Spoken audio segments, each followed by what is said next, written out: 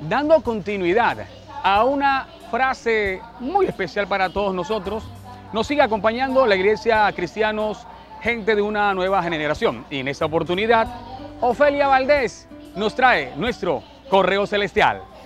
Hola, quiero compartirte un principio que a mi vida ha sido sorprendente. Dice la Biblia en Efesios 6:10, fortaleceos en el Señor y en el poder de su fuerza. Sabes, de pronto desestimamos el poder de Dios. Tenemos un Dios que es todopoderoso. Tenemos un Dios que es más poderoso que los cinco Avengers reunidos.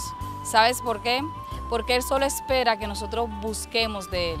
Hay una manera de encontrar su poder y es cada mañana o al atardecer o en cada momento de tu vida tú puedas tener un momento de intimidad con Él. Cuando tú te conectas con Él, tú recibes de esa, de esa fuente de poder.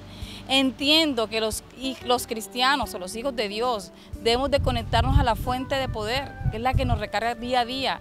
Y esa fuente está en el Señor, en el que todo lo puede, en el que separó el mar rojo, en el que, en el que alimentó a cinco mil hombres. Él es tan poderoso que hace cualquier milagro posible. No dejes de pegarte a la fuente verdadera a la vid verdadera y te aseguro que vas a encontrar ese poder que necesitas para que en tu vida sucedan grandes milagros.